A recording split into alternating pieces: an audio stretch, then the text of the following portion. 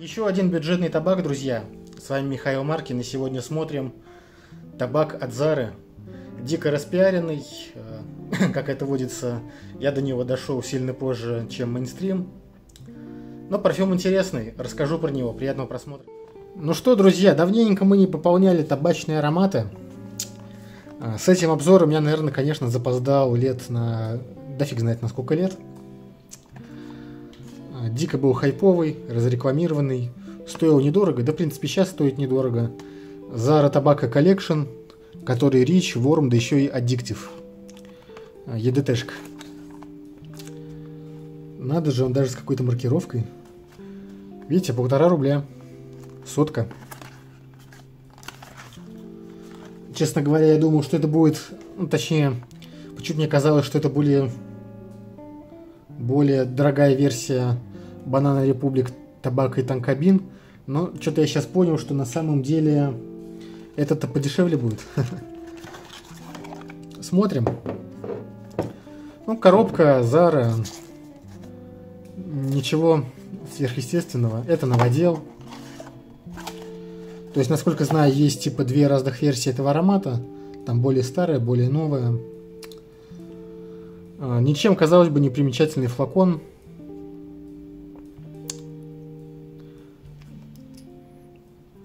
Обычная, довольно-таки крышка. Но, с другой стороны, даже у нишевых ароматов за 20 плюс тысяч э, вы можете встретить точно такие же флаконы. Вот. Сейчас я принесу еще пару ароматов для сравнения и продолжим. Вот. Первое, что надо знать, э, в принципе, про этот аромат, то, что он не про а, табак сигарный, он не про сигара, он не про дым, он про лист табака, то есть действует направление а, того же Том Форд табака, ваниль, Фрэнк Бакле табака. А, по нотам здесь на фраге пишут, что это ром, пион и ваниль без всякого табака.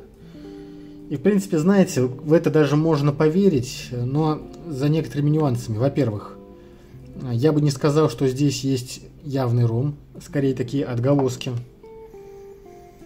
Я пробовал ромовые парфюмы. Я пробовал сам ром и, в принципе, знаю, о чем речь. Здесь рома совсем немного. Здесь нет, ну, Э, сложно сказать, чем пахнет пион.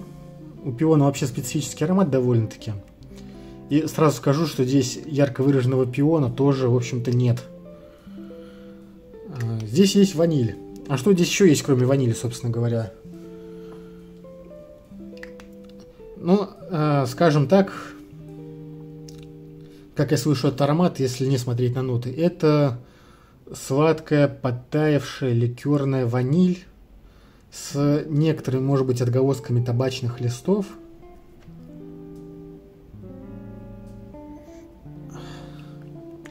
И с какой-то нотой, знаете ли, такой э, бурбонной деревяшки. Ну, деревяшки совсем немного. Да, я бы сказал, что здесь это алкоголистость, ваниль, бобы тонко и, может быть, чуть-чуть деревяшки. Алкоголистость э, в хорошем смысле этого слова, алкоголистость э, ликера, алкоголистость, может быть, бурбона. Вот. Аромат не совсем про табак, даже не про табачный лист. Вот, скажем, в Альхарамейн Табака Эдишн, табака куда больше – ну, это табак ваниль с гвоздикой.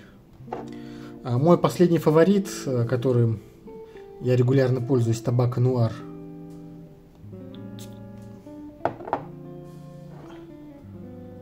О, здесь э, тоже такая изрядная толика табака, но еще и с абрикосом. Да, здесь прям хороший табачный лист. Здесь практически нет табака, это бобы тонко с алкоголем, но, блин, это сделано так хорошо. А, знаете, я вот когда его носил, а, у него такой же эффект, как у Мюглера Pure Havan. А, точно такой же, точно так же хочется прям буквально себя скушать. Ты прям идешь и чувствуешь, э, насколько он вкусен. Очень вкусен. Э, является ли он унисексовым? Да, сто процентов. Может быть, даже больше с уклоном в женскую сторону. Но, с другой стороны, на самом деле он а, точно такой же унисексовый, как Том Форд Табак и Ваниль. Если там прочитать про табак и ваниль, там тоже, конечно, споры. Кто-то пишет, да он чисто женский, кто-то пишет, да он чисто мужской. Какие-то глаза там за унисекс. Но на самом деле весь вопрос в ситуации, там, в области применения. А, на серьезное совещание какой-нибудь там бородатых мужиков. Типа этот... А, наверное, что нет. А вот для вечера, для свидания это прям офигенная находка за полторы тысячи. Потому что на самом деле при всем небольшом количестве нот, которые в нем чувствуются, они реализованы дико хорошо. Ничем не хуже, чем, скажем, вот в том же табак нуар. Просто у них разные, скажем так, направления. Но этот стоит пятак, этот стоит 1500 за сотку. Да. Но это, конечно, не ниша, это хороший такой люкс. В принципе, как и Форд. Он еще каким-то соком истекает. Ну там что, мироточки, что ли, мотивы? Надо протереть.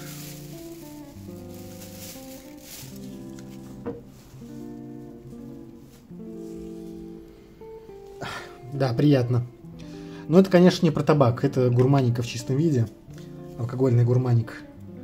Кто хочет табака, сладкого табака, гурманского, вот э, табак нуар, классный с абрикосинкой, Амберут табак эдишн, Фрэнк Бакле табак в ту же степь, если нравится слива, там очень много слива. Это гурманика. Это скорее не про...